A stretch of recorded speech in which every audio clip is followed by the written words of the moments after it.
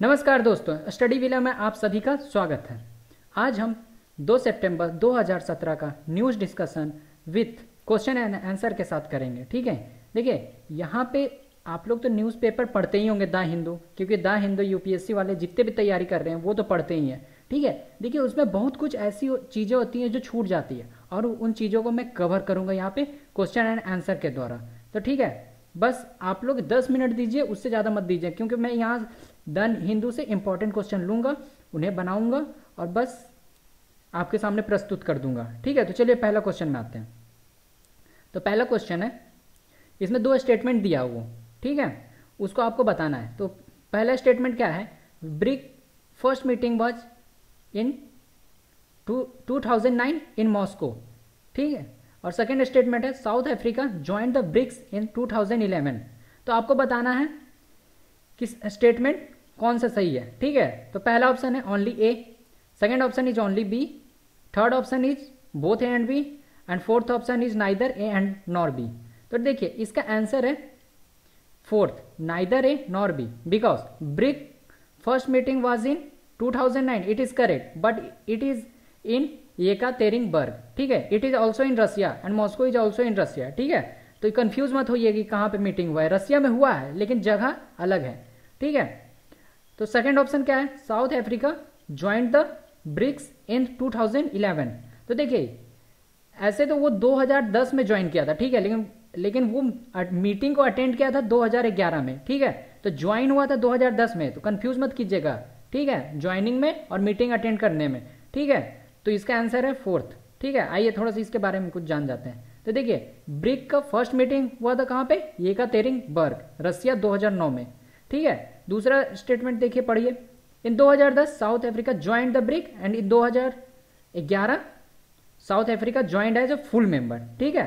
तो इन बातों का ध्यान रखिएगा ज्वाइन और फुल मेंबर ये दो अलग अलग बातें हैं, ठीक है? अभी 2000 अभी हमारे मोदी जी चाइना के विज़िट में जा रहे हैं, वहाँ से फिर वो म्यांमार जाएँगे, ठीक है?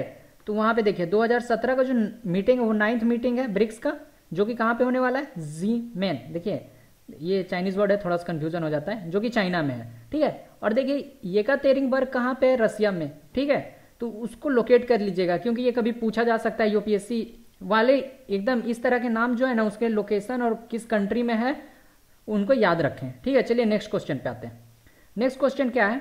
Where is the second Indian Ocean conference took place तो देखिए इस तरह के क्वेश्चन जो है ना एसबीआई बैंक पीओ में हमेशा पूछे जाते हैं। तो ये सारी बातों को आप ध्यान रखिएगा तो इसका सही आंसर है कोलंबो। ठीक है? चलिए इसके बारे में थोड़ा सा मैं और बता दूँ। इसका पहला मीटिंग सिंगापुर में हुआ था, ठीक है? और ये एक ये एक दिल्ली बेस्ड थिंक टैंक है, जो कि which looks for peace prosperity progress in the Indian Ocean इसका पहला मीटिंग सिंगापुर 2016 में हुआ था और फ्री नेविगेशन हो इंडियन ओशियन में, ठीक है? और इसके इस बार जो 2017 में हुआ है वो कोलंबो में हुआ, जो कि मैं क्वेश्चन में पूछा इस बार 35 कंट्री पार्टिसिपेटिंग इन इट्स ठीक है, उसके तो देखिए, क्या होता है कि साउथ चाइना सी का केस आप जानते ही है। वहाँ पे फ्री नेविगेशन चाइना वाले कितने नोटंकी करते हैं, वो आपको पता है। यूएस हमेशा उस चीज़ को अपोज किया। लेकिन इंडियन ओशियन में इंडिया ऐसा नहीं करता है। इसीलिए तो जो भी इसके आसपास के कंट्री है, उनके साथ इनका बहुत ही फ्रेंडली रिलेशन है। ठीक है, होता है कभी कभी जैसे नेपाल के साथ बोला जा रहा है कि अच्छा रिलेशन नहीं है। लेकिन होता है कभी कभी वो ठीक हो जाता है। ठीक है? तो ये इन सब बातों का ध्यान रखिएगा। चलिए नेक्स्ट क्वेश्चन में आते हैं। नेक्स्ट क्वेश्चन है name the committee set up for the banking reforms देखिए, ये क्वेश्चन मैं इसलिए पूछ रहा हूँ क्योंकि अभी आपने बिज़नेस जब द हिंदू का बिज़नेस वाला पेज पढ़िएगा तो वहाँ पे दिया हुआ है कि बैंक को मर्जर कराया जाए ताकि बेटर रिज़ल्ट आ सके, ठीक है? तो ये कौन सा ऐसा कमिटी था जो इस तरह के रिकमेंडेशन रिकमेंडेशन दिया था, जो कि बैंकिंग रिफॉर्म से रिलेटेड है? तो पहला ऑप्शन है Narasimhan one committee second option is Narasimhan two committee third option is Rangarajan committee and fourth option is Kakodkar committee तो देखिए नरसिम्हम वन कमेटी जो था, वो फाइनेंशियल सिस्टम से रिलेटेड था। ठीक है? नरसिम्हन टू कमेटी जो था, वो बैंक सेक्टर रिफॉर्म से रिलेटेड था। तो इसका सही जवाब है बी ठीक है? आइए थोड़ा सा और इसके बारे में बता देता हूँ मैं। देखिए, क्या है? ये 1998 में अपना रिपोर्ट सबमिट किया। उस टाइम के फाइनेंस मिनिस्टर थे यशवंत सिन्हा। ठीक है? और आरबीआई गवर्नर थे बिमल जैन। तो उनका रिकमेंडेशन क्या था इस? जो नरसिम्हन टू कमेटी का, कि एंट्री ऑफ़ फॉरेन बैंक ठीक है, विदेशी बैंक आए इंडिया में नॉन परफॉर्मिंग एसेट जो कि अभी जान रहे हैं कितना बड़ा हो गया नॉन परफॉर्मिंग एसेट हमारे कंट्री में, जो कि एक सरदर्द है हमारे बैंकिंग सेक्टर के लिए। और दूसरा स्ट्रॉन्गर बैंकिंग सिस्टम ताकि मर्जर और छोटे छोटे बैंक जो है मर्जर करके बड़ा बैंक बनाया जाए, ताकि कभी भी कोई सिचुएशन हो इंटरनेशनल ट्रेड को आराम से डील कर सके। ठीक है? चलिए नेक्स्ट क्वेश्चन पे आते हैं। नेक्स्ट क्वेश्चन है European free trade agreement consist of how many members? Means member countries, ठीक है, यहाँ पे मेंबर कंट्रीज़ होगा, ठीक है? तो इसका सही जवाब है फोर ये क्वेश्चन पूछने का रीजन है, क्योंकि अभी अभी स्विट्जरलैंड के जो प्रेसिडेंट है, डोरिस ल्यूथार्ड वो इंडिया के विज़िट में है, ठीक है? तो अभी इस पर बात चल रहा है, ठीक है, कि फ्री ट्रेड एग्रीमेंट हो। तो ये ये एक, जैसे वहाँ पे यूरोपियन यूनियन के कंट्री है तो स्विट्जरलैंड, ठीक है? तो उसमें क्या होता है कि कुछ कंट्रीज़ जो हैं वो जैसे कि Switzerland, Iceland, Norway and Liechtenstein. तो ये चारों मिल के एक एफ्टा बनाए हैं, यूरोपियन फ्री ट्रेड एग्रीमेंट, जो जैसे कि इंडिया के साथ वो साइन करेंगे तो उनका अलग चलेगा। और ये एक अल्टरनेटिव ब्लॉक है यूरोपियन कंट्रीज़ से दैट वेर अनेबल जो कि नहीं ज्वाइन करना चाहते हैं ईयू e जैसे कि अभी ब्रेग्जिट हुआ। ठीक है? तो देखिए यूरोपियन इकोनॉमिक कम्युनिटी को नहीं ज्वाइन करना चाहते और ये बना कब था? 1960 में। इसका हेडक्वार्टर है जिनेमा में। ठीक है तो इस बात को ध्यान रखिएगा कि कौन कौन सा कंट्री है एफ्टा में। क्योंकि पूछा जा सकता है इस तरह का क्वेश्चन चलिए नेक्स्ट क्वेश्चन पे आते हैं। नेक्स्ट क्वेश्चन है name the committee set up for over to oversee Olympics preparation from 2020 to 2028 देखिए, अभी द हिंदू के द स्पोर्ट्स वाले पेज में जाइएगा तो वहाँ पे देखिएगा, टास्क फोर्स बनाया गया था तो उसमें एक कमेटी बनाने जा रही है हमारी स्पोर्ट्स मिनिस्ट्री। उसका सही आंसर है, एम्पावरिंग स्टीयरिंग कमेटी, ठीक है? तो इसके जो मेंबर होंगे वो कौन होंगे? ऐसे नहीं कि वो कोई, ये थर्टीन मेंबर होगा, ठीक है? जिसके जो कि मेंबर जो होंगे, वो होंगे। एक तो स्पोर्ट्स मिनिस्ट्री से होंगे, फिर नेशनल स्पोर्ट्स फेडरेशन से होंगे, फिर इंडियन ओलंपिक एसोसिएशन से होंगे फिर फॉर्मर एथलीट्स होंगे एंड स्पोर्ट्स साइंटिस्ट होंगे, ठीक है? ये बहुत ही अच्छा चीज़ है कि जो इस फ़ील्ड से रिलेटेड हैं, उन्हीं को इसमें शामिल किया जा रहा है। बहुत अच्छा स्टेप है गवर्नमेंट के द्वारा। चलिए नेक्स्ट क्वेश्चन पे आते हैं।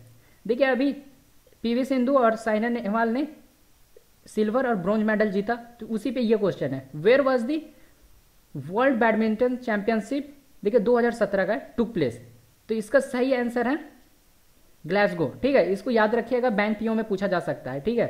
चलिए और कोई एग्ज़ाम में ऐसा नहीं पूछेंगे।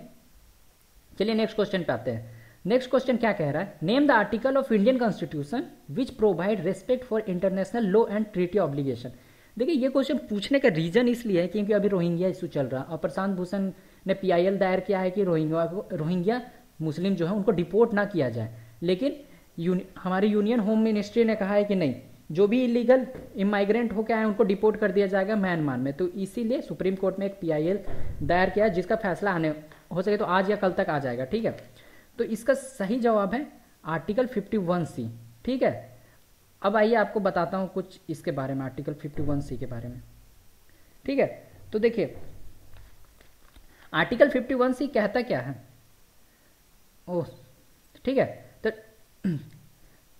और ये आर्टिकल 51 के अंदर आता है, जिसमें कहा जाता है promotion of international peace and security ठीक है?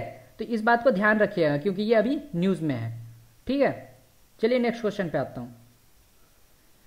नेक्स्ट क्वेश्चन है according to the disturb area special act 1976 ये आपसा से रिलेटेड है। Once declared disturb the area has to maintain status quo for a minimum period of देखिए, ये question बहुत अच्छा है, ठीक है? इसको याद रखिएगा कितने पीरियड के लिए रखा जाता है। तो first option is three month B is four months C is five months and D is six month तो इसका सही जवाब है थ्री मंथ ठीक है? चलिए, इसके बारे में कुछ बता देता हूँ। ठीक है आपसे 1958 में आया था, एक ऑर्डिनेंस को द्वारा, ठीक है? बाद में इसको लॉ बनाया गया। फिर ये Assam and Manipur was the first state where AFSPA enacted ठीक है? पहला बार लागू वहीं किया गया था। फिर article 355 of the constitution of India provide करता है सेंट्रल गवर्नमेंट की ये पावर कि every state should be protected from internal disturbance तो article which article gives this power it is article 355 ठीक है तो इस बात को ध्यान में रखिएगा। इस सब छोटी छोटी चीज़ें छूट जाती है, ठीक है? और मैं इन्हीं सब छोटी छोटी चीज़ों पे ध्यान देता हूँ, ठीक है? तो आज के लिए इतना ही। चलिए गुड बाय और हमारा पेज लाइक करना ना भूलें और please subscribe us thank you